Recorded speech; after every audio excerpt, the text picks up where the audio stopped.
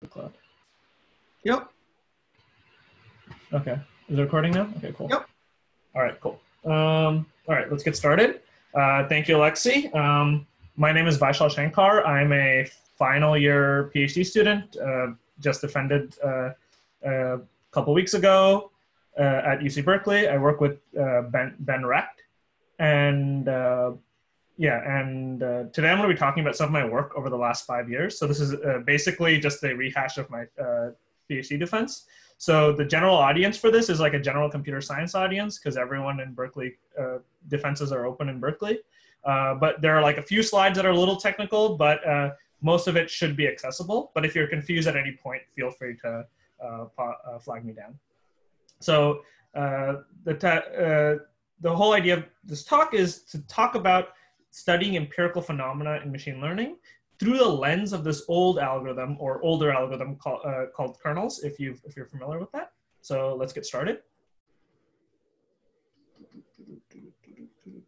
Great. Um, oh, wait, no. All right. So uh, I'm sure you guys have seen slides like this in uh, many talks. Machine learning is like effectively fundamentally unavoidable in today's society. So whether you're like dealing with law enforcement, medical applications, uh, browsing the internet on Facebook, YouTube, or Netflix, uh, or ordering anything on Amazon, you've probably touched the machine learning system in some way, shape, or form. So, uh, so it's already out there. The cat's out of the bag. Machine learning is interacting with real people, but we need to ask the question: if we're going to deploy machine learning in in real life, higher stake scenarios, we have to understand whether we understand machine learning or because these systems can fail and they can fail in quite drastic ways. We know self-driving cars can crash. We know that translation systems can make pretty big mistakes. And we know that there's uh, uh, systemic bias in our society can get propagated into our machine learning systems. And we're sort of just automating bias uh, with uh, by automating by using machine learning on just uh, raw data. So in order to under, better understand uh, uh, machine learning, we got to go to the, uh, the primary workhorse of machine learning in the last 10 years. So most state-of-the-art algorithms in uh, speech, natural language processing, uh, uh, computer vision are based on artificial neural networks. So, so we need to, we should be able to, we should understand this algorithm if we're going to make any sort of broad statement about machine, machine learning. And but the important thing to note is that this wasn't the algorithm of choice. Machine learning has been around for like 20, 30 years, or maybe 50, 60 years, depending on how you call it, what, uh, what you call machine learning. Uh, but uh, neural networks have only been really popular since 2011. So only the last 10 years or so after they had phenomenal success in a particular task, which is the ImageNet object recognition task. Um, the actual algorithm isn't new. It's been around. This uh, uh, ANNs have been around since 1957. It was known as the perceptron back in the day. And uh, and one fascinating thing about neural networks is that they do more than just uh, exceed uh, on standard benchmark tasks. They capture the imagination of the public. So we see New York uh, Times articles about the great AI awakening or uh, uh, AI labs that want to mimic the brain and they get a billion dollars from Microsoft. And this isn't this isn't just a statement of the current time. Uh, in 1958, uh, right after Rosenblatt uh, uh, published the original perceptron paper, there was an article in the New York Times talking about the electronic brain that was teaching itself.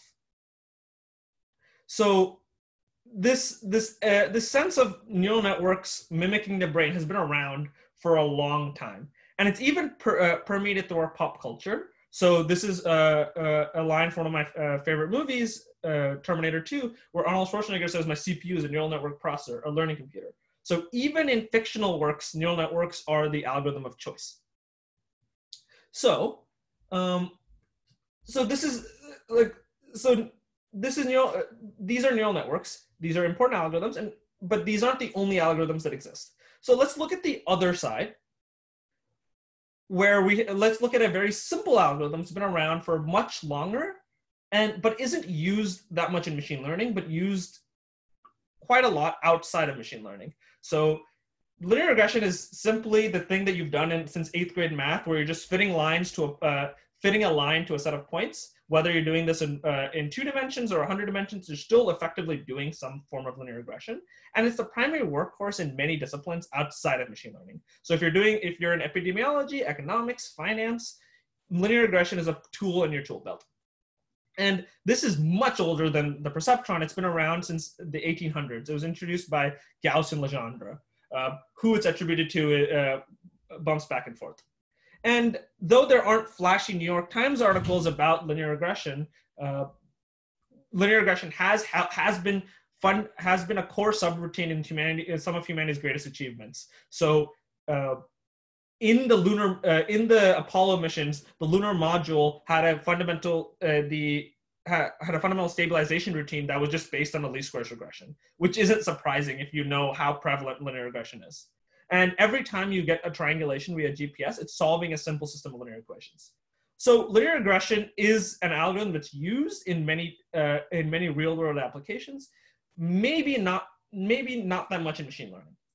So so this gives us like a, tra- uh, uh, a set of trade offs. So on one side we have deep neural networks, which are the best tool for certain tasks.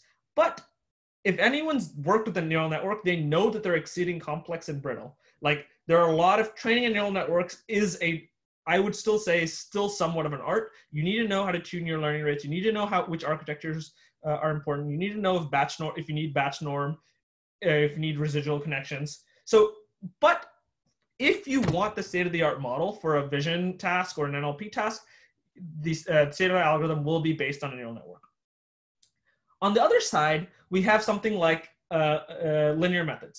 So with uh, this is a it's sufficient and reliable when it works because it's not really doing that much. All it's doing is again fitting a uh, fitting a line to a set of points. But it's it doesn't really work for modern tasks. Uh, so like the analogy I like to think about is like the neural network is like an iPhone. It has all these fancy features. And it can take pictures, connect to the internet, and the Nokia is just a phone that can make phone calls. At the front, they can make they can both make phone calls, but if you drop an iPhone, it's going to break. Yeah, just an analogy I like to think about when I'm uh, working with these algorithms. So the central question in this talk is how can we use these linear methods to better understand our machine learning systems? So, uh, and I'm going to break this down into two two parts that I'm going to bounce back and forth between, and I'll explain why. You'll it'll become clear in a few slides. So one is that is this fundamental? Can you have linear methods that can max predictive performance of neural networks? Because if you can, that tells us something about what neural networks are doing. Because if if a linear method can get close, that means neural networks aren't approximating the brain in any way because we know our intuition is that the brain isn't like a linear function. And then the second thing is that do neural networks fail in the same exact ways that linear methods fail? So uh, let's start with the first branch first. So, uh, okay, so this is the, these two sides are the most technical slides. So I'm just gonna breeze through them, but if, uh, uh, but if you have any questions, feel free to stop me. Uh, so the way linear regression generally works is you have, uh, you're gonna, you're gonna, you're gonna need to find some vector of, of weights theta such that x theta is, is approximately equal to y. And the way to think about this for like a standard classification task is what we're going to do is try to find a line that uh, that separates our data from uh, with one side of examples on one, and so like dogs on one side and cats on the other. So so the way we would do this uh, is we would just regress our labels in the linear regression would be zero and one. So zero would be dog, one would be cat, so on and so forth. And then you would just solve this uh, simple optimization problem, which this is my favorite part of linear regression. We don't actually have to worry about any sort of optimization routine. This is just something we can write in closed form. So this is just, you take some derivative, set it to zero, and you get this equation. But this is like not that interesting, in my opinion, because linear methods, or their fundamental flaw is that they're linear. So they can only draw these straight lines. So if you if dogs and cats aren't separable in, by a linear by a straight line, then you're kind of hosed. You want what you want to do is model fundamentally nonlinear relationships with something like a linear uh, linear method. So if you've if you've taken a machine learning class before 2010, you've probably heard of the kernel trick.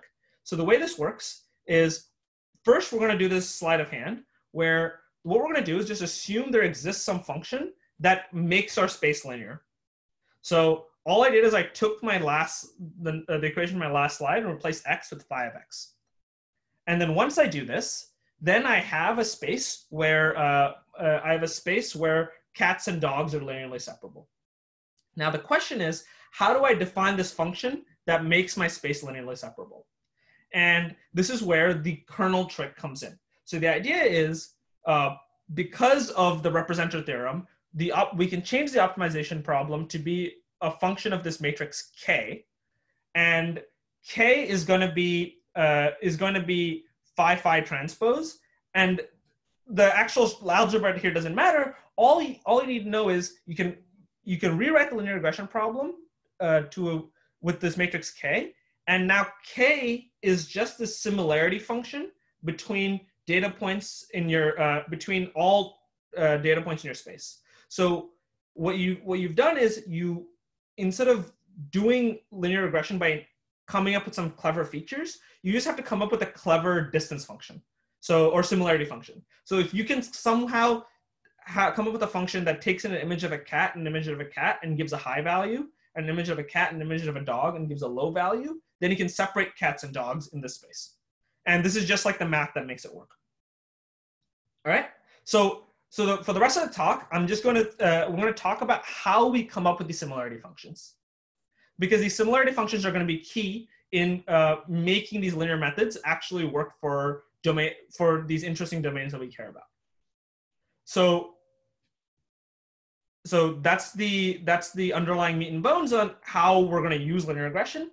But once we have this k, everything else is just standard. You just call like standard packages from NumPy or SciPy or whatever. Okay.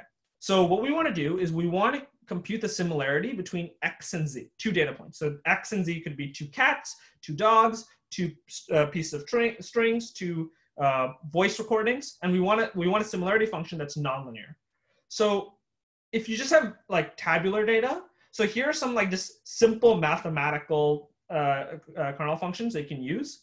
So you can just take the linear similarity, which is just the dot product, and this will just uh, if you use the similarity function, you're just going to do linear regression again. You're not going to transform the space anyway. You can do use the quadratic kernel, which would just be equivalent to if you've ever done regression by adding uh, uh, quadratic terms. That's what the quadratic kernel does. And then you can do the RBF kernel, which is a very popular kernel that tries to that tries to capture an infinite number of. Uh, so whereas the quadratic only captures quadratic terms, you can think of the RBF kernel captures quadratic, cubic, quartic, and so on, an infinite number of terms decaying in some way. So these are simple kernels that people use for like tabular data. If your data isn't something like images or text and it doesn't have any structure, and you're just going to do linear regression anyway, uh, then you can use this. And turns out, so if you if you have data that's like tabular, so if you just have data like this, turns out uh, uh, the kernel this kernel works quite well uh, so this is a meta study on 90 uh, tabular data sets. And we basically see that uh, this RBF kernel does around as well as random forests and slightly better than a neural network. But this is sort of well known in the research community that if you have data that's like unstructured, uh, like tabular data, uh, neural networks don't really don't really perform well in this regime so the interesting thing is where machine learning has made all its strides in the last 10 years is for structured data. So by structured data, I talk about things like speech, text, and images, right? Because like in once you have something like this, you can't just you can't just vectorize your you can't just think of it as a bag of numbers. So here's here's an example uh, that I like to use where let's say you have two uh, two images that are uh, that are just random noise.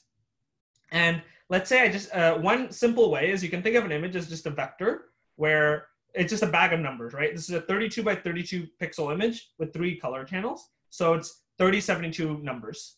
So I can take, I can just vectorize this and take the RBF kernel value. So ignore, just think of this as a giant spreadsheet with 3072 columns and take the RBF kernel value between the two, uh, these two images and I get 0.997. I don't know what that means. Uh, someone have a question? Uh, which 90 UCI data sets? Uh, I get uh, uh, the, these are all like it's like adult. I, I don't have the exact list in my head. I can. It's in the source. It's in the. It's in that one uh, paper. I can talk. I can pull it up after. But they're most. They're both continuous and discrete uh, uh, features, and the they're all classification tasks. Okay, so um, the uh, so for these two images, the RBF kernel value is 0.997, and this doesn't actually tell me much, but maybe it means they're really correlated. But let's say I apply a permutation map to both these images. And turns out the image on the left becomes a frog, the image on the right becomes a truck.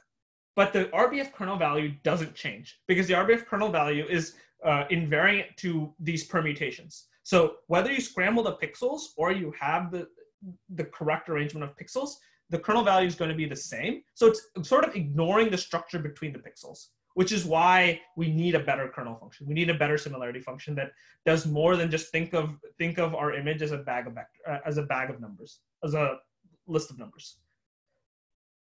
Okay, so what we want is an image kernel. We want something that takes x an image, z an image, and uh, uh, give an output. And the really simple idea we're going to use and it's it ends up being very powerful, is that we're just going to compare subregions. so I'm going to use something, I'm going to take subregions and then just ignore the structure.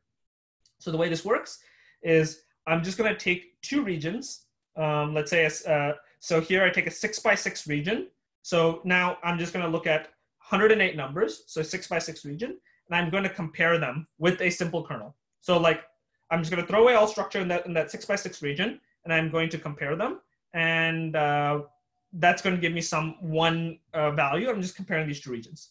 And then what I'm going to do is just sum over all pairs of regions. So this is kind of expensive, uh, but they're pretty efficient approximations to do this.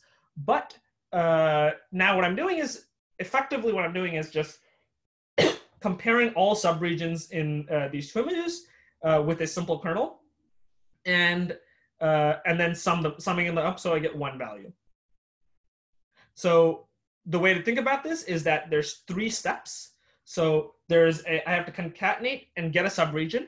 Then I have to com compute a nonlinear uh, compute a nonlinear interaction between these two subregions, and then I have to sum the comparisons. So I'm going to call this a convolutional kernel, and it's going to be called a single layer convolutional kernel. Uh, and the reason it's called a convolutional kernel is because it's like this uh, local patchwise comparison has this convolutional structure to it. And in fact, you can actually write this as a convolution. Um, so if you want to efficiently apply, uh, run this on a GPU, you end up writing this as a convolution. So, and I liked writing this in, in this like sort of like network-like diagram because if uh, people have seen uh, deep networks uh, represented as a, a, series of operations. So I'm going to think of this as concatenate, compare, and sum. All right. So now let's see if the horse dances. Does it does it work? So, uh, so these are three like papers I wrote earlier in my PhD using uh, using this method, where uh, we just saw these are just like applications where we just try to find applications of this algorithm. So one was this transcription factor binding site uh, detection algorithm, uh, the, detection set problem, where there was a DNA string and we have to predict whether it's just a binary task of whether a uh, particular protein will bind to that DNA string or not. So just a binary task. Uh, where, given the string, does this does uh, protein ATPF, uh, ATFP or whatever bind to this location? And the way the way we did this, we just we just thought of the uh, represented the string as a one E image. So you can just represent A, C, G, A, and T as as basis vectors in in as one hot encodings in R4 and run the exact same algorithm. And effectively, when we wrote this paper, we found was this was on par or bet slightly better than the state-of-the-art convolutional network for this task, which we were quite surprised. And it was like uh, I think a, a, thousand times faster. Uh, uh, the actual details of what, how it's faster are in, are in this paper, but uh, because this algorithm has a very efficient approximation, which I'm not going to cover in this talk. Really, I can talk about it offline. Uh, uh, in my head, approximating these uh, algorithms is a different is is more of an engineering problem, a different problem than actually just trying to see if these kernel methods are performant. Okay, next. Uh, this is a satellite image task where this is we worked with the uh, the uh, the startup in San Francisco called Planet, which gave us access to terabytes of satellite image silent, satellite imagery, and we wanted to uh, see if we could predict a particular outcome from space uh, in an efficient manner. So uh, so this is like if we want to predict population from just images of uh, images of the ground. And this isn't as useful in like the U.S., but it's very useful in uh, in if we were doing this in like Africa, where there isn't uh, good census data. So, uh, and then predictive forest cover. And then again, same thing. Here we compare to a ResNet 50 because uh, that I trained, because since we collected this data, there wasn't like a benchmark that we could just run. So we just took one of the state of the art networks, uh, uh, not state of the art, but like a easy to train network that was good at this task. Uh, Planet. Planet was the company.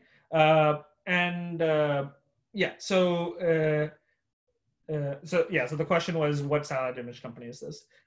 Maybe I'll do questions at the end because I guess it is sort of breaking the flow. Okay, so yeah, so again, we saw that it's within striking distance of a ResNet, and uh, the whole point was we didn't try that hard. This was a this is a very simple kernel function, and it's like I would say comparable in performance. And again, our thing is much faster because we're using this efficient approximation. Um, and this is my favorite one of the tasks where we're, what we're trying to do is predict a solar flare by looking at a picture of the sun. So uh, uh, Eric, a postdoc I work with now, he's a professor at University of Chicago, had had this brilliant idea to. Uh, NASA has these satellite, uh, these telescopes that just point at the sun, and they're downloading terabytes of pictures of the sun. And what they want to do is one of the problems they want to do is like given a picture of the sun, they want to predict whether a solar flare is going to occur 24 or two hours in advance. And so that's exactly what we did. Um, so we took a picture of the sun and try to predict whether a solar flare was going to happen. And here the baseline wasn't a neural network because these were physicists. So what they had was a set of handwritten features that were like divergences and curls at particular locations in this image that they knew correlated with solar flares. And we found that our convolutional kernel captured all of that and exceeded it. And this is exactly the algorithm I talked about like four slides ago. So all three of these tasks, we just plugged and played this uh, this uh, convolutional algorithm, and it worked pretty well. And basically, the high level idea is like it's just a, accounting for a little bit of the structure in the input data, and we get pretty far. Okay, but this isn't a totally fair comparison because neural networks were sort of tuned not on these tasks, but tuned on tasks like CIFAR, MNIST, and ImageNet. So we need to see how they do on these benchmark tasks. Uh, so one of the most important one of these benchmark tasks is ImageNet. So if, uh, if you are uh, if you aren't familiar with ImageNet, it's 1.2 million training images, 50k validation images. There's like a bunch of different uh, uh, dog breeds, animals, objects, and this is the data set that I would say has single-handedly pushed the field forward in the uh, uh, in the last 10 years. Uh, uh, Jitendra Malik is quoted as saying it's one of the most impactful papers in machine learning and computer vision in the last five years uh, because of progress that uh, that resulted directly from this data set, AlexNet. Now we have these large industrial labs, Google AI, Microsoft, Amazon, uh, Facebook, that uh, that are uh, that are pushing that are pushing the progress of AI because of progress on this data set. And just last year in the uh, economic report of the president, there was a the first ever chapter on AI, and this chapter had progress on uh, on ImageNet as uh, as figure one, and it was just they just labeled it AI because they were just using progress on ImageNet as a proxy for progress in AI. So this is a very very important data set. So so even though it's kind of silly, it's important we do good on, do well on it because it's it's sort of the measuring stick that everyone's using. Unfortunately, it's it's uh, it's very difficult to iterate on this data set because uh, it's huge. So there's another smaller data set that is that again the person who uh, who wrote AlexNet and started the whole deep learning revolution worked on this data set first, CIFAR 10. It was introduced by Alex Krizhevsky. And uh, these are much smaller images, blurry images, and there's only 10 classes. But this is also a, uh, a very, very popular data set. Um, so for uh, at at NeurIPS last year, uh, at NeurIPS, basically the three most popular data sets are MNIST, CIFAR10, and uh, ImageNet. And MNIST is sort of a solved data set. Like uh, most classifiers can get above 99 quite easily. So we're just going to look at CIFAR and ImageNet. So how do we do on ImageNet? Unfortunately, this is okay. So this is I got I made this plot around year two of my PhD, and this was quite depressing. So essentially, there's like a 40% gap between performance on ImageNet versus uh, performance uh, versus like a ResNet. So that's huge, right? That's like that's the difference between something to, uh, sort of working and not working at all. Uh, kind of disheartening. And then um, on CIFAR 10, we saw a smaller gap of 12%. That's still significant. That's like eight years of progress. So we scratched our head and we were like, what are the potential causes for this gap? So this is like two years ago. So one is that neural networks are fundamentally better at this task, and that's interesting to know in its own right. But the second, which was uh, which would have been more interesting to us, uh, which was more interesting to us if it was true, uh, or like if this if this direction was this direction uh, seemed more promising to us, that neural networks are actually overfit these these tasks because everyone's me- measuring progress on things like ImageNet and CIFAR 10, and these data sets have fixed test sets. Perhaps we're just overestimating our accuracy, and we're just over overfit to these test sets. So let's just see if this is true. Because if this is true, then it doesn't really matter that your networks are fundamentally better at the task if they're overfit. So this is where we're going to switch to the second branch of the talk. So basically, we're going to see if neural networks overfit, uh, neural network and linear methods overfit at the same rate. So what is the ideal machine learning workflow? The ideal machine learning workflow is that you have a training set, a validating set, and a test set. So the way it works is you train, train a model on a training set, then you tune the model on the validation set. And then the day before you deploy or the day before you uh, the day before you submit your paper, you compute the test accuracy on the test set and then you submit. But this isn't what how machine learning is done, at least in uh, in academia. And my understanding is this isn't how the best models were actually uh, created. Uh, what we do, the way we've gotten our best models, the way we we have these efficient nets and inception nets and res nets, is that we download the best model that gets the best accuracy on a fixed test set. Then we tune that model by just looking at the accuracy on the test set. And then once we can maximize that accuracy, then we just release that model. So we've looked at the test set over and over and over and over again, which is theoretically a big no-no if you've taken an intro machine learning class. So now the question is, because we looked at the test set over and over and over again, do I have unreliable evaluations? Um, so like, here's progress on CIFAR 10 over the last 10 years. Uh, and all of these years use the exact same 10,000 images. So, and there are probably tens of thousands of evaluations on those 10,000 images over the last 10 years. Same exact thing for ImageNet. So overfitting really could be a problem.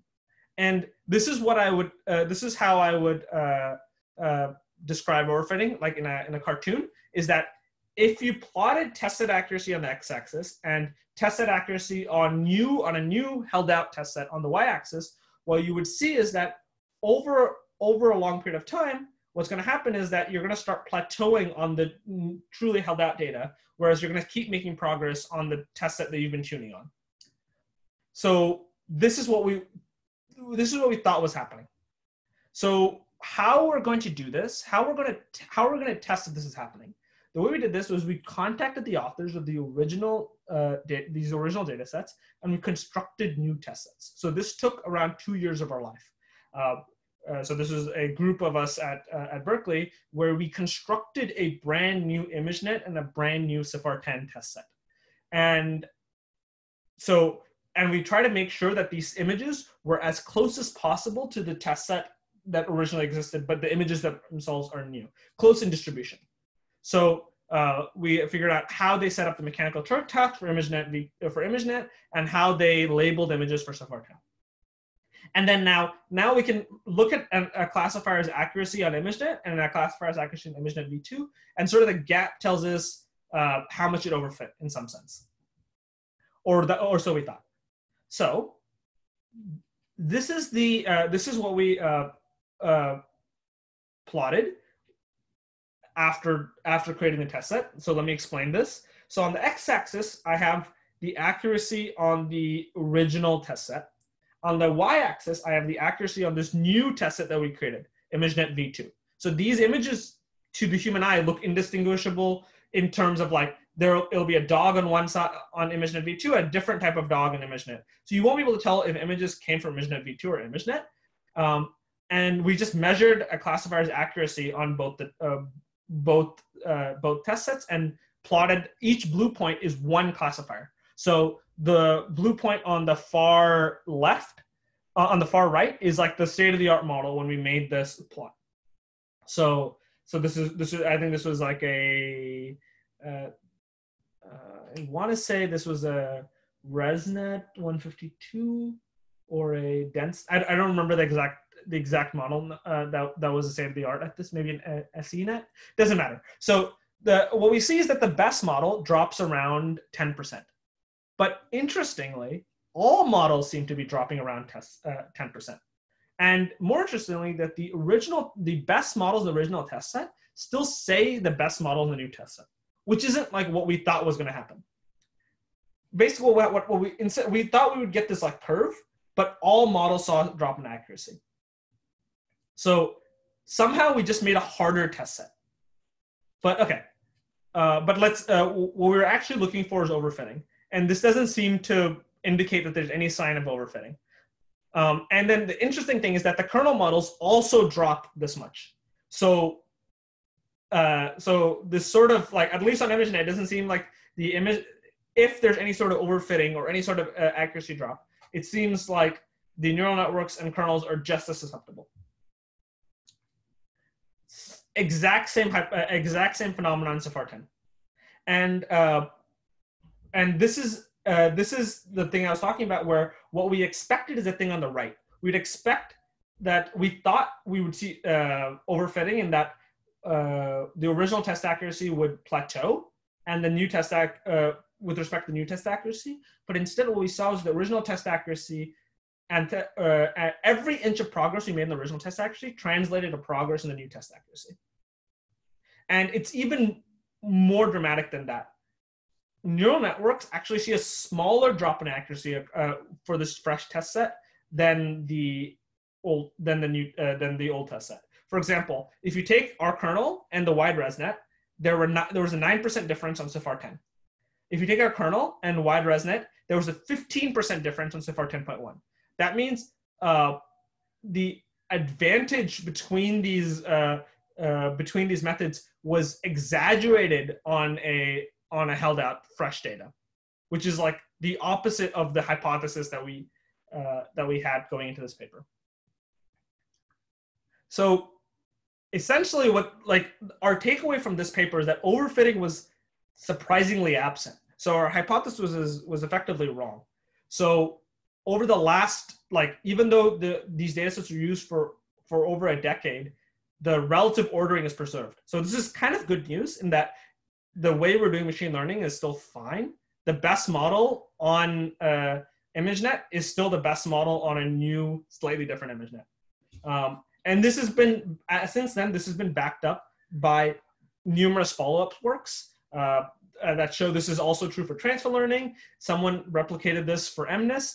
And then we wrote a, we actually did this uh, meta study using Kaggle, where uh, we did a meta-analysis of in, those graphs, kernels were orange.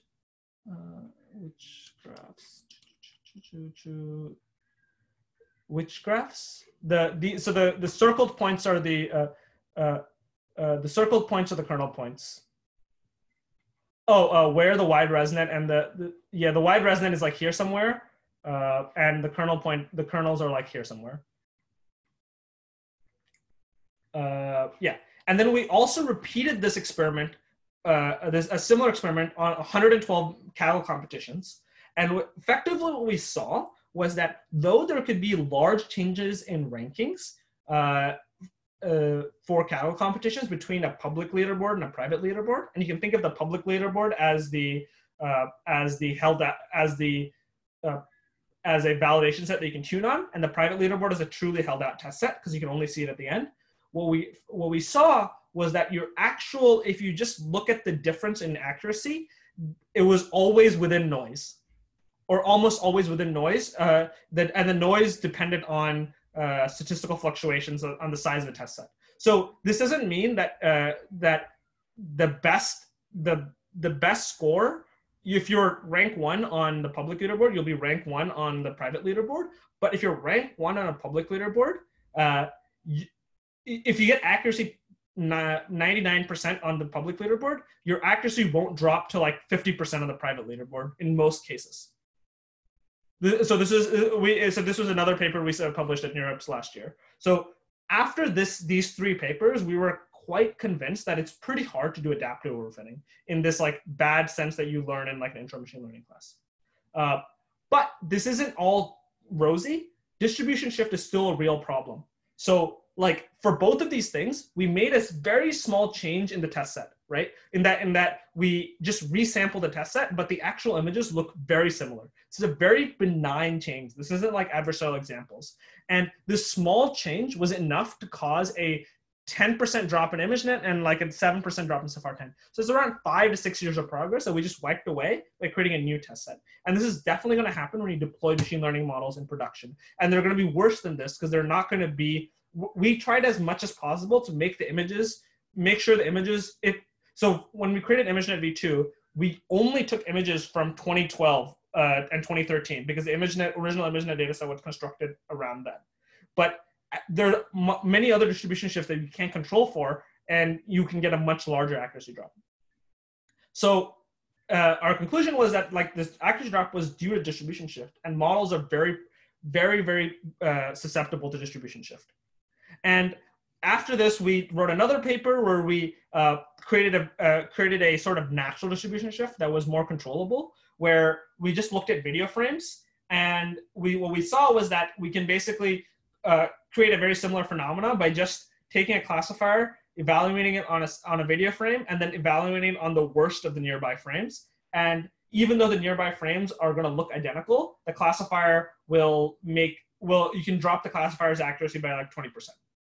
So this is sort of like adversarial examples, except the images are just natural images. So again, this is just more, uh, uh, more field of the fire that distribution shifts are a real problem. So takeaway from this, we we we tried to show overfitting was a problem. We failed. We actually found the distribution shifts were a real problem, were the real problem, and kernels were just as good, just as bad for distribution shift as neural networks, which was surprising, kind of disheartening when we did this, but like that's how science works. Sometimes you don't always get the hypothesis that you want. Uh, okay, and then uh, and then one final thing to uh, uh to convincing the distribution is a real problem. We also wrote a paper where we uh, checked, we, for at least for the ImageNet ImageNet v2 example, we took a group of five of us, trained us on the ImageNet classification task, and made sure that our accuracies were the same between ImageNet and ImageNet v2. So like if we created a harder, uh, harder test set, it's only harder for models. Humans perform around the same. So this is the same plot as before, but now we have these orange points, which are humans. And, and you see the orange points are near the dotted line, which is the y equals x line. So if a human gets 95% on image, ImageNet, uh, uh, ImageNet, they get roughly 95% on ImageNet v2. So which is good. Okay, so again, key takeaways, overfitting is not a problem. Distribution shifts a real problem. 10 years of progress of neural networks is real. Okay? So this brings us back to kernels maybe neural networks are just fundamentally better than kernels at this task. And that is a possibility, but this might just be because we're just now, like after doing all this, what we what we learned is that neural networks actually been doing uh, like there's something fundamentally better about them, right? Because like then then at least this one kernel that we're we were comparing, the single layer kernel. And so we ruled out the second hypothesis. So maybe networks are fundamentally better at this task. So now the question is, can we improve our kernel so the networks aren't fundamentally better? And one thing that, uh, so after all this, I just stared at a ResNet diagram and our kernel, and I realized that there's a, we're comparing apples and oranges. The a, a, very standard 34 layer ResNet has 34 layers. There's 34 non there's over 34 nonlinearities. Uh, there's many they're looking at you're looking at many spatial scales and this is true for many different domains too whether you're looking at uh, a speech a transformer or a, a speech network they're usually very hierarchical whereas our convolutional kernel only has three steps concatenate compare and sum so in hindsight this is quite dumb that we didn't think about this uh, we just turned our single layer convolutional kernel into a multi-layer convolutional kernel Yeah.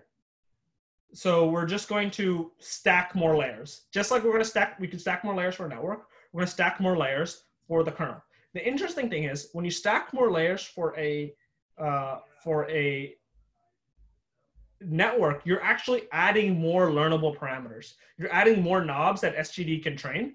Whereas when you stack more layers for a kernel, you're just changing what this uh, what this similarity function does. So what we're going to do is we're going to concatenate, compare, and we'll do a partial sum then concatenate, compare, and partial sum. And we're going to repeat this until we get one value.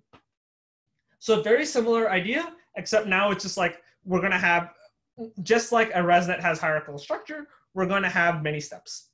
And and then we're going to call this our multi-layer convolutional kernel. So this actually took me four years to just think, to understand that I could do this, uh, and this was a good idea. And I guess it took the the segue to understanding the understanding that all this neural network progress is real to understand that like there's something fun- fundamentally better about neural networks that uh, that led me to coming up with this uh, kind of uh, hierarchical kernel structure.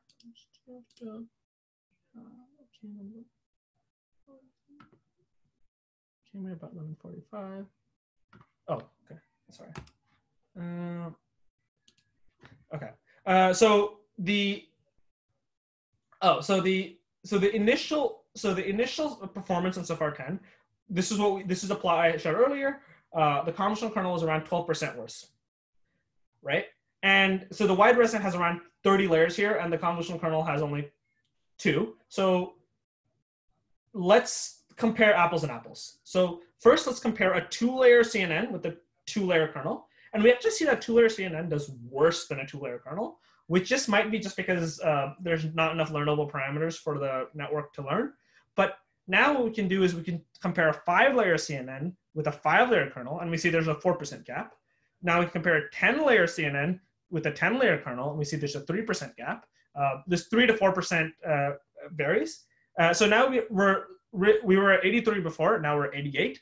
And then now we can add some data augmentation, which is like, which is a very simple uh, trick that, again, bringing techniques from neural networks to linear methods. Uh, we can just add data augmentation to our kernel, and now uh, accuracy increases again. So now we're around 3% difference. Again, remember the wide ResNet was at 95. Uh, but now what I'm doing is I'm just constructing the CNN and the kernel at the same time. So I'm comparing, uh, I'm doing apples to apples. Then what I can do is I can just add more data augmentation. I can add flips, I can add crops, I can add cutout, and then the accuracy of the CNN goes up to 96%. Unfortunately, at this point, you can't actually evaluate the kernel at this uh, with all this data augmentation because uh, this is still like this is like bleeding edge. This like this is like work from those published this year at ICML. So this kernel is actually very expensive to evaluate. So every time you add data augmentation, increase the amount of uh, data set, you're going to it's a quadratic dependence on the data set size. So this is I'm working on this now, but uh, but the interesting thing is that our CN uh, like there's now if we only compare apples to apples, there's only like a 3% gap. And now we've also improved our best kernel by 7%. Um, and this is like quite good for just a simple method that uh, only has a deterministic similarity function. And so this is what I'm working on. And then again, we did this on CIFAR 100. Um, very similar phenomena here, where uh, there is a 3% gap uh, oh, and another important thing is that I evaluated the original AlexNet accuracy, and, and our kernel is now better than the original AlexNet accuracy. So our kernel is better than the original neural network that sort of spurred all this progress. But since then, they've made 10 years of progress. But just catching up here was a lot of effort in its, in its own. Um, then uh, again, we have similar results in CIFAR 100. So it's a different data set with 100 classes. And so then there's this holy grail of ImageNet. So this is like my white whale of trying to, I want to get good accuracy in ImageNet before I graduate. And I will. I'm almost here. I have like a month before I submit my thesis. And uh, these are experiments that I'm doing right now. But basically, there was originally this 40% gap. But, uh, and again, 1.2 million images is very large in that it's uh, hard to iterate. Even training a neural network takes around a week uh, on uh, ImageNet if you want to train a, like a close to state-of-the-art model. So what we did was we just subsampled the data set and looked at accuracies in that subsampled regime. And effectively what we saw was that, again, this iterating the kernel business works. So taking the depth idea, moving into linear regression works. And now we can basically bridge the gap between a, uh, uh, between a ResNet 50 and a uh, kernel by just adding layers. And this is also well known. The layers have like a diminishing effect. So the reason the ResNet 50 does well is because there's this residual connection that allows you to have identity layers. So layers that do nothing. So, but like basically you see that a six layer kernel is like edging in on the performance of ResNet 50. And I've actually improved these numbers. This, this ends up, this ends up being true even if you go to 80K, 160K. So I'm working on scaling this up to 1.2 million. Um, and uh, yeah, so like basically this is the accuracy, uh, like so the accuracy trend as you scale the amount of samples is quite reliable. So uh, yeah, I'm almost out of time, but the main takeaway is that linear methods, if you put enough elbow grease, can be competitive for certain ML tasks. So we can't ignore all those scientific tasks that I talked about earlier. But and then linear methods can be further improved by borrowing successful techniques from deep neural networks. Uh, so like data augmentation, this depth idea, uh, uh, even the idea of convolutions came from I got the idea from CNNs because you're adapting to the structure of the data. You don't use you don't use CNNs on tabular data. You use CNNs on image data. And then finally, this this uh, other uh, uh, this other branch is that tested overfitting is not a huge problem for neural networks and linear methods, and distribution shifts are a huge problem for all methods. And we should be thinking about distribution shifts all the time. They're very scary. And the the way we were able to do all this is careful experimentation. So these are all, uh, uh, this is due to very careful methodological experimentation is the only way we can find this phenomenon. We need better science like this. Um, and so none of this would be possible without all my collaborators. So these are all the collaborators that made all the work I talked about possible. And that's it. Thank you so much. Um, and I'm going to stop. And people have. Uh, you can keep recording for the questions if folks ask questions, uh, right? So I think we got some questions in the chat. So feel free to answer those, and uh, folks, feel free to uh, ask questions live. Okay. can I ask verbally? Thank you. Yeah. Can I just ask a quickie? Uh, three slides ago, on the um, the, the graph with the 10, 20%, where the y-axis was 10, 20%. What was yeah. that? Was that the correlation between kernel? Oh was no, that no. The so raw accuracy? accuracy? Raw accuracy on just forty-one thousand. Okay, sure. Forty-one thousand. Okay. Yeah, you might. I don't know. You might like to plot it on a log axis. It sounds. Yeah, yeah, yeah, yeah. Uh, uh, yeah. Because I the number is so low that I assume that it has to be correlation because nobody would ever quote an accuracy of ten percent. Uh, so I would explicitly label it accuracy, not Okay, yeah. correlation, because I assumed it was correlation. Oh no, no. So I meant I meant this was accuracy. Yeah. Uh, so, uh, so, so this is this is like this is just a common technique for model uh, for that, that we use for model selection, where these models that are really good at 1.2 million are still uh, are still most perform have better sample complexity and are better even at 41,000.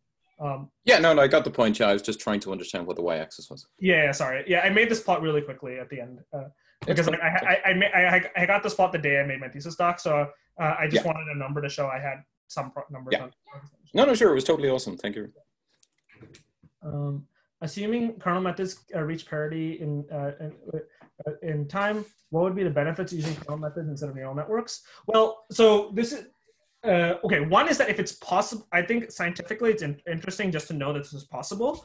Uh, if we can get, okay, so if we can get kernel methods to reach parity and accuracy with the CNN, like a ResNet, then I think it's fundamentally possible to create a deterministic feature map that's like doesn't look at your data, that you don't need any training, uh, where you can just pass your data through it and you get this like feature representation that uh, that uh, uh, that is the underlying feature representation of the kernel method, and you can just do linear regression on that. So it would, if this was true, if, if this conjecture was true, it would speed up machine learning by like orders of magnitude because you'd never have to train a neural network because you could just go, you could use all the other uh, uh, optimization algorithms that work on uh, non-neural networks. Because the reason we have to use SGD, which is a fundamentally bad algorithm for optimization, is because it seems to be the only algorithm that works well for training a neural network.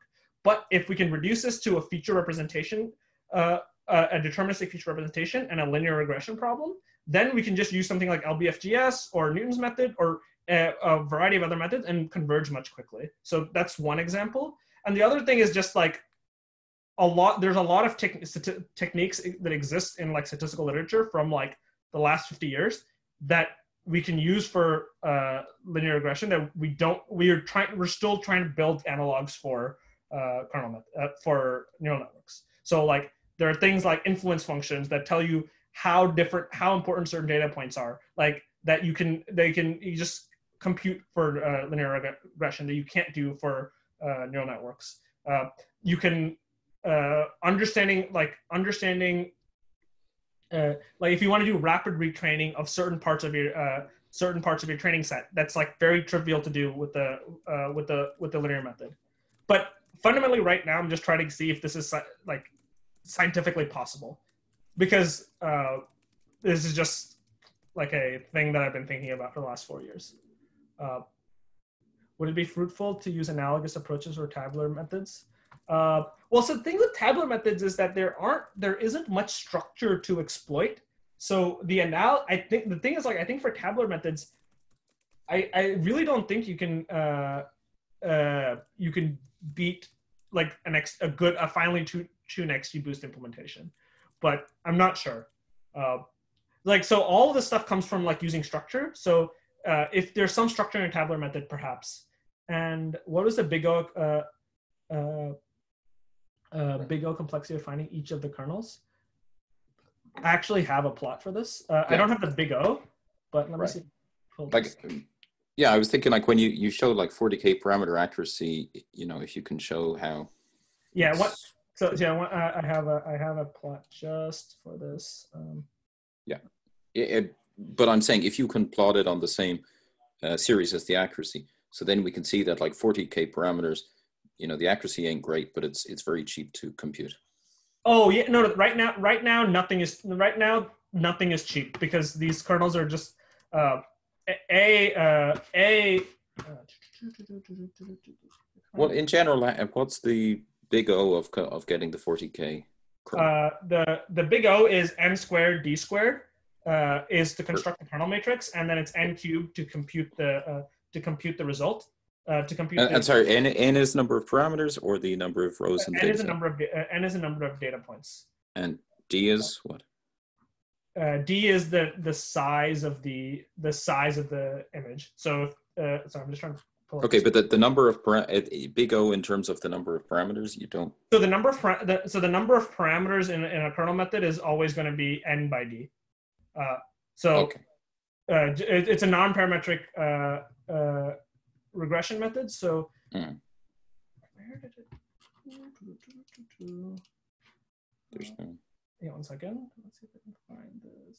Like, there's no lower complexity way of computing a kernel. No, no. So there could be. So the, the, the important the important thing is uh, the the the lower bound of how how fast you can approximate. This this is to compute the kernel exactly. So the nice part is because the uh, because the the kernel is a deterministic uh, uh, function. Mm-hmm.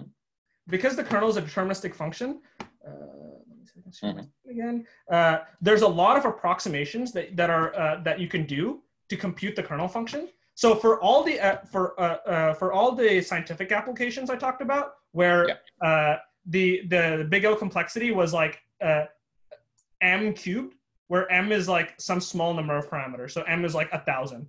So you can choose an approximation dimension. So here's a plot. Can you guys see my plot, uh, my screen? Yeah, this plot is great. I mean, I was just uh, talking about the, the lower left-hand quadrant of this sort of for very low accuracies of like 0 0.1, 0 0.2, if you can show the extension down to smaller. Yeah. Uh, yeah. Uh, so, so I, I don't know. So this is, I've only made this plot for like training on the entire data set. I don't know what, so the, that that ImageNet, yeah, I, I think that ImageNet uh, plot is just like a work in progress thing. I think Mm. uh, we need to look at the we need to look at the the flops once we get the accuracies up to like uh, the 70s, which is where which is where ResNet is. And I think that's possible. It's just like a bunch of engineering. But the reason I wanted to uh, uh, labor on this is that so so the the main thing about computing a kernel is you have to solve this kx equals b equation, and solving this equation is n cubed in terms of the number of data points. Uh, so kernel methods always depend on the number of data points. Well, op- optimally solving it is, yeah, but you could Yeah, yeah. But like, Monte Carlo it or something. yeah, exactly. But like, even if you're solving it optimally, the the number of floating point operations you have to do is still less than the number of floating point operations you do when you train a ResNet 50 to con- uh, convergence. When you train a ResNet 50 to convergence uh, uh, on a GPU, so the important thing that we forget is that Mhm. training these uh, networks on modern GPUs is extraordinarily expensive, but we have Mhm. extremely good tooling for it, right? Mhm. So you can't. So the the main reason you can't solve kx equals b on a GPU is because we don't actually have very fast uh, out of GPU code for doing this. That's like available on like that you can just like pip install. Uh, Mhm. Whereas, whereas for training a ResNet, you can just download the latest version of PyTorch, and that's that will give you that will reach this like lower bound. Whereas here, I had to write my own solver to do this. Um, Mhm. so I have done some work on like writing fast solvers to see if this is Mhm. like possible. It's just like not very easy to use, uh, and like, but uh, if I can come up with a good kernel function, I can make the optimization problem roughly as difficult as uh, uh, as training a ResNet. But right now, like the the hard part is like actually see the thing is like I don't even know if this is possible. Like Maybe maybe as you maybe for these large data sets, these neural networks are just like 50, uh, 10, 20, 30 percent ahead. I don't think that's true, but I have to like convince myself that's not true. Sure. How do we get heuri- uh, heuristics, non-optimal so heuristic solutions to kx equals b in more efficient Pico? You could, you could, yeah, you could get heuristic solutions. Uh, you can, I mean, you can use like uh, uh, coordinate descent or some sort of uh, uh, some sort of uh, iterative Sorry, you're breaking up. Can you You can use something Sorry, like coordinate descent or some sort of iterative repeat, algorithm. Hello, can you hear me? Yeah, sorry, you broke up. Could you repeat the last sentence? Yeah, you could use something like coordinate descent or some sort of some sort of iterative algorithm, but the problem there is what we found is that the exact solution just always had better test accuracy. So just like if you want to get the best performance, having the exact solution was always the best. This is also sort of true for training a network where like you need to optimize the network quite a bit to get the best test accuracy. So uh, uh, yeah.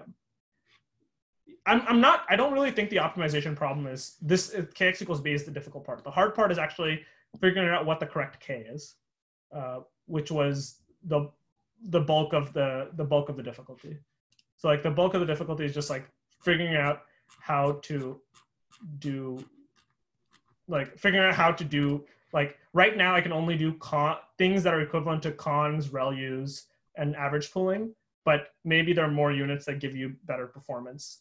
And just constructing this is difficult right now because like what the kernel is is comparing all pairs of like sub sub images in a data set and that's just fundamentally expensive.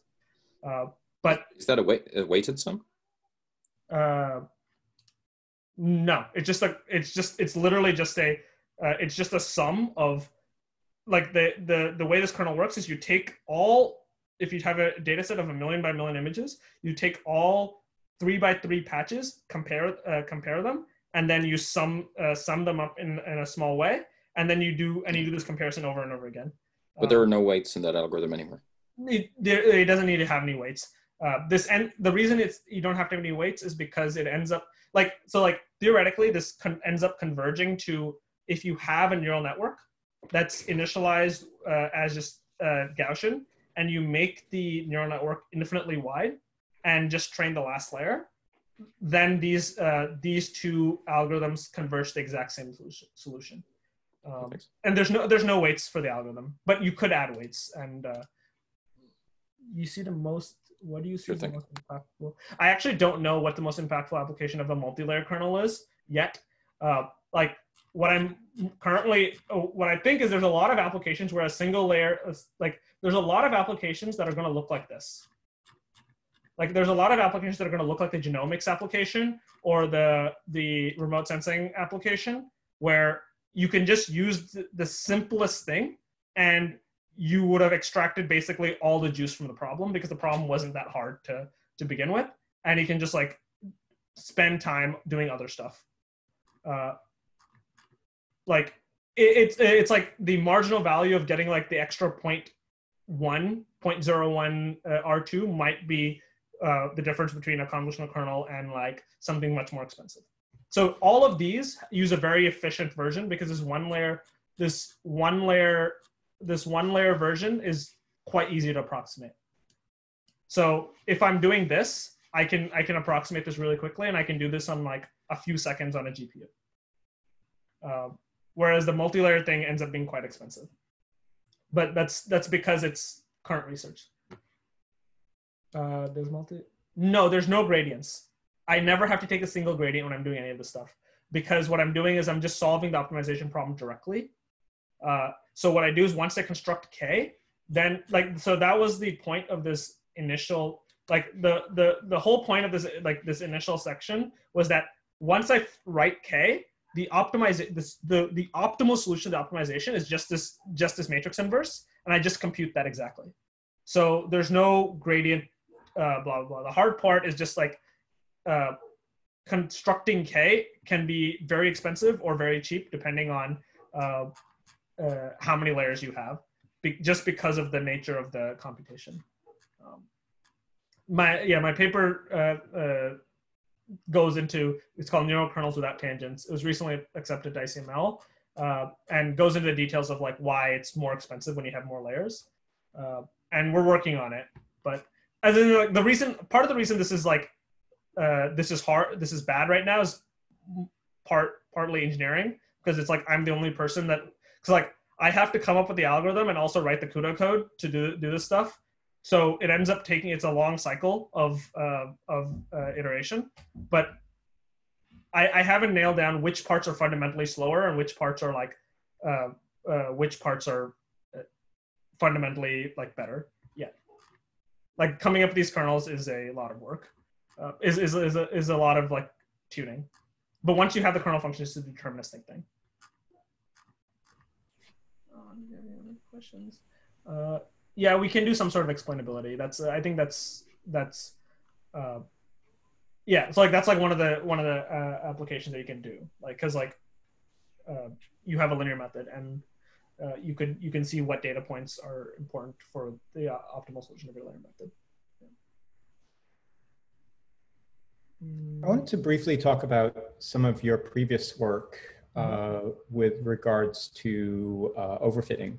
Yeah, yeah. Um, so, like one of the hypotheses that people have put forth is that um, you know the overparameterization isn't really a problem because uh, you know you're it's a, you're essentially giving your algorithm a search space and then it's going and finding sort of a subset of uh, of connections within that search space you know kind of analogous to the lottery ticket hypothesis. Mm-hmm. Um, I was wondering if you had sort of any thoughts or insights along those lines, or well, I think well, so I think this I think the overfitting the overfitting uh, hypothesis is sort of orthogonal to that in that uh, this is this is fun beyond like the, the this distribution shift lack overfitting thing is beyond uh, uh, just neural models so even if you take a simple linear regression model or a one nearest neighbor model, which is this blue point down here, right? It's on this red line and it still drops 10%. So what uh, what this means is that whatever phenomena is causing the accuracies to drop 10% and keeping the ordering preserved is beyond what uh, beyond uh, uh, is not specific to neural networks or or linear methods. It's just something to do with the way we're doing ERM uh, is a lot is makes the way we're doing these like uh, doing ERM makes our makes our classifiers fundamentally brittle when the input distribution changes, input distribution of images.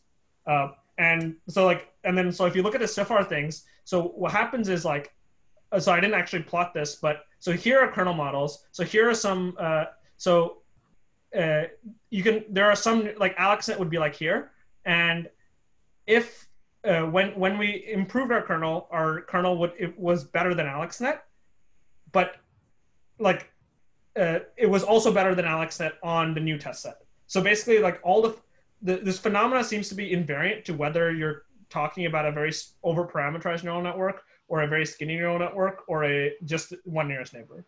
So I think, yeah, I'm not. Uh, I'm pretty sure I've tested uh, networks that came out of the lottery ticket hypothesis, like the the sparse networks, and they also fall in this red line. So there seems to be some sort of universal phenomena about just like if you change the test distribution a little bit, your all your accuracies either go up or down.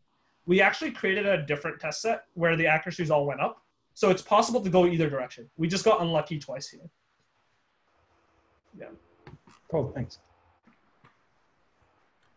Um, cool. Any more questions? Um, All right. If you don't have any other questions, let's all thank Vaishaal once again for excellent talk and uh, follow-up Q&A. Can I ask a question? One? Yeah. Uh, kind of, kind of. I guess just the same as previous. But so when you mentioned that there's no resource in currently in um, uh, optimizing, uh, finding the kernels, you know, uh, is there any? Does anybody care? I mean, is there any momentum well, in doing that?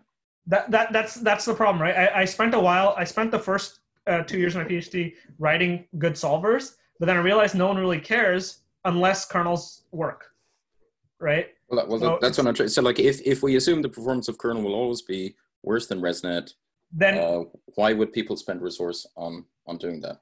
Yeah, well, so that, that it, explainability, that, perhaps. What?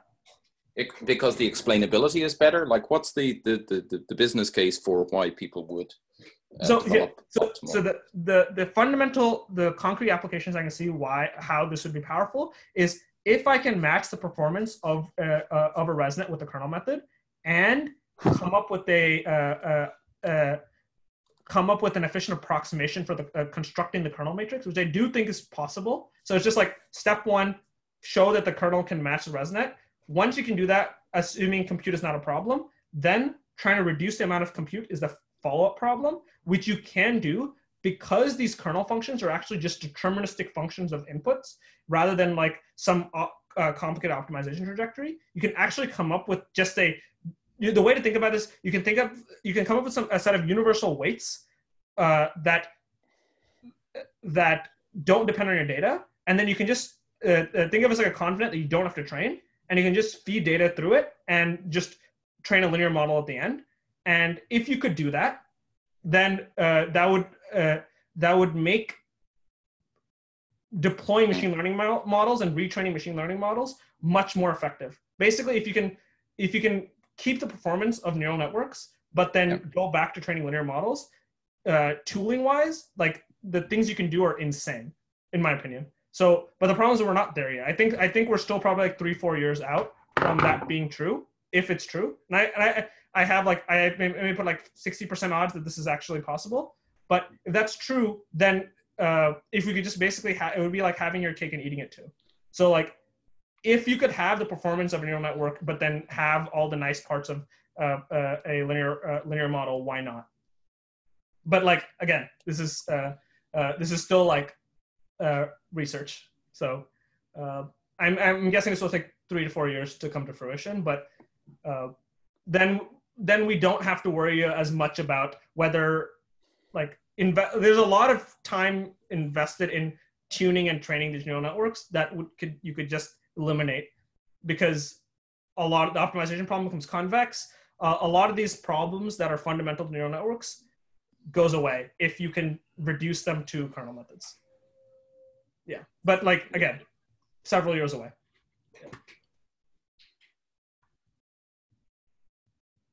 Thank you, Stephen, for a great question. Any other questions?